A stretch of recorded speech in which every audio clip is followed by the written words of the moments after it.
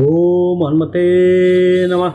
नमस्कार मित्रों, मैं अविरल त्रिवेदी और आप देख रहे हैं मेरा यूट्यूब चैनल नीति। मित्रों, जैसा कि आपको मालूम है कि आजकल एक विशेष श्रृंखला हम चला रहे हैं। उसी विशेष श्रृंखला में आज बात करते हैं काली मिर्च के गुणों की।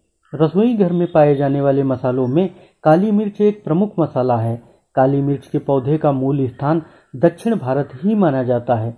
भारत से बाहर Indonesia Borneo Indochina, Malay, Lanka और श्याम आदि देशों में इसकी खेती की जाती है।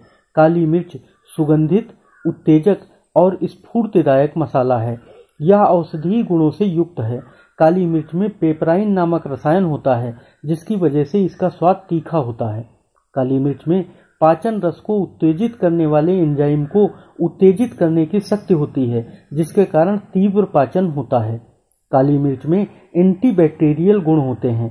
अगर काली मिर्च का पाउडर शहद में मिलाकर सेवन किया जाए तो खांसी और जुखाम से राहत मिलती है। काली मिर्च में मौजूद लार्विसाइडल प्रभाव मच्छरों से होने वाले संक्रमण को रोकने में मदद करता है। काली मिर्च में मौजूद पिपेरिन कई तरह के कैंसर से बचाने में मदद करता है।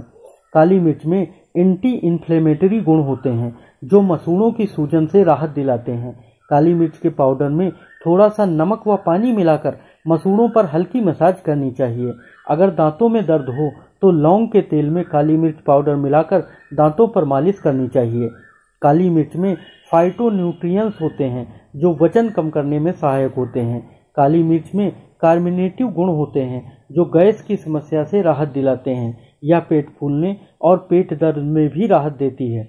गैस की समस्या से निपटने के लिए हमें काली मिर्च को अपने रोज के खाने में इस्तेमाल करना चाहिए। आधा चम्मच काली मिर्च और गुड़ को मिलाकर खाने से भूख लगना शुरू हो जाता है।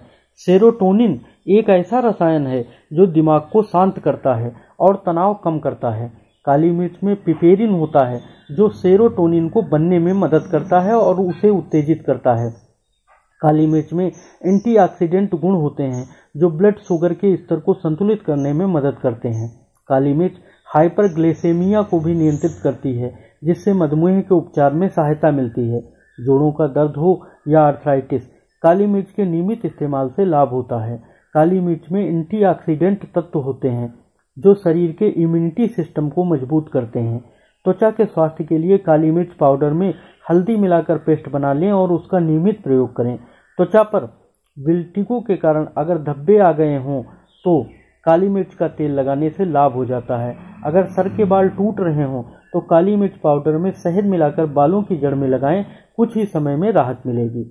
मित्रों, काली मिर्च को हमें अपने रोज के खाने में नियमित रूप से इस्तेमाल करना चाहिए। लेकिन अगर कोई चिकित्सकीय प्रयोग करना है तो हमें योग्य चिकित्सक की सलाह अवश्य लेनी चाहिए। मित्रों हमारे वीडियोज़ आपको कैसे लग रहे हैं, अगर अच्छे लग रहे हैं तो कृपया लाइक करिए शेयर करिए और हमारे चैनल को सब्सक्राइब अवश्य करिए। आपका बहुत बहुत धन्यवाद बहुत बहुत आभार। नमस्कार।